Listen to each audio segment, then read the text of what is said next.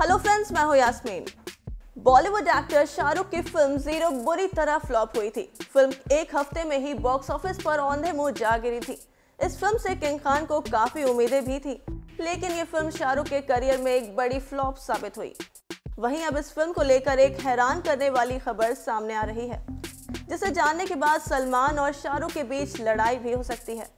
दरअसल जब शाहरुख की फ़िल्म ज़ीरो कटरीना कैफ को ऑफ़र हुई थी, तब भाईजान ने खुद उनसे मना किया था कि वो इससे साइन ना करें।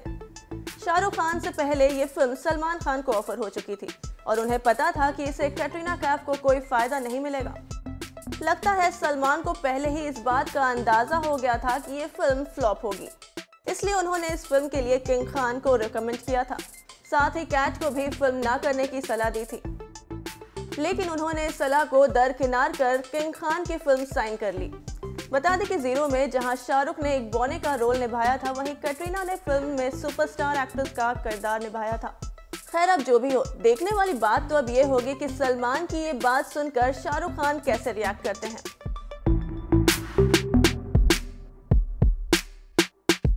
वैसे आपको क्या लगता है, अगर सलमान फ़िल्म ज़ीरो में काम करते तो क्या ये फ़िल्म बॉक्स ऑफ़िस पर चल पाती या नहीं? हमें कमेंट करके ज़रूर बताएँ।